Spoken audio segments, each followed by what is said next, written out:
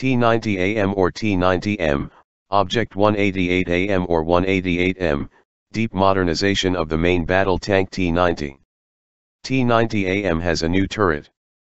The tank turret has a panoramic sight with calculation and identification of targets, a sight for a source of thermal radiation, sensors for firing conditions, identification equipment friend or foe, means of internal and external communications, a navigation system, as well as satellite and unmanned surveillance equipment, etc.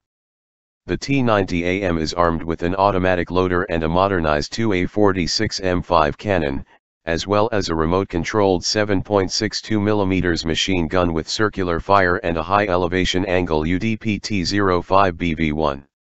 The T-90AM is equipped with anti-projectile and anti-cumulative protection with 5 to 6 times greater efficiency than Soviet tanks. Protects the crew and equipment from the secondary flow of fragments of fire-resistant anti-fragmentation material such as Kevlar. Improved fire extinguishing system. Only the T-90AM has a system for detecting and countering projectiles that are approaching the tank. In the forced V92S2F engine with a capacity of 1130 horsepower. New pump and nozzles, reinforced connecting rods and pins were installed, crankcase design was strengthened, casting quality was improved.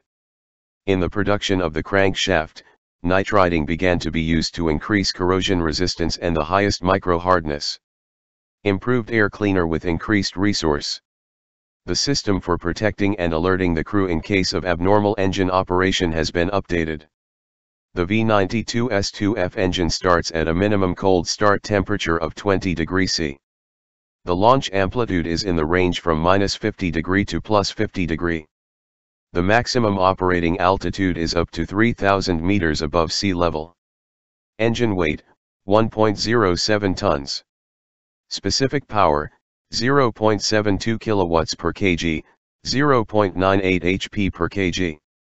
The exhaust system is located in the fender to reduce the temperature of the hull and the visibility of the tank for infrared guidance systems. The engine is made in a single unified unit with an automatic transmission. For the first time in a Russian main tank, steering wheel-based control and an automatic gear shifting system, with the possibility of switching to manual, were used. Object 188M was comprehensively modernized, in almost all major systems of the tank.